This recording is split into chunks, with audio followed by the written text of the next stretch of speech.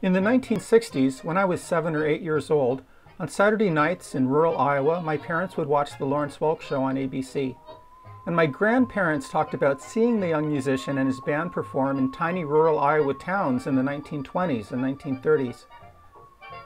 For 20 years, I've lived a few miles from his resting place in Los Angeles. I've now checked the box for seeing that location. Lawrence Welk had big band shows on radio and television from the 1930s to the 1970s. He grew up in a German-speaking area of South Dakota, and German was his first language. Interestingly, I'm a lifelong amateur with German, and I was listening to a German podcast while driving to Holy Cross Cemetery this weekend. Gefahr für Mutter oder für Kind. Weil das Kind falsch liegt zum Beispiel.